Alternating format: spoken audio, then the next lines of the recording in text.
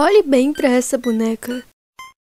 Puta que pariu. Tiver uma dessa no meu quarto, eu não durmo não. Nos anos 90, uma versão diferente da coleção de bonecas chamada Cabbage Patch Kid foi lançada. E nessa versão elas comiam comidinhas de plástico. Sim, uma boneca que mastiga de verdade.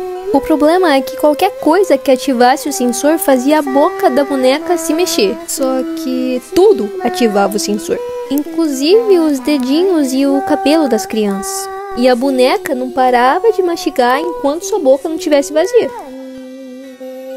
Pra piorar a situação, não tinha botão de desligar na boneca. Só se você tirasse a pilha. Por fim, após várias reclamações, a Mattel recolheu às pressas as bonecas de todas as lojas. E agora só existe as versões tradicionais dela.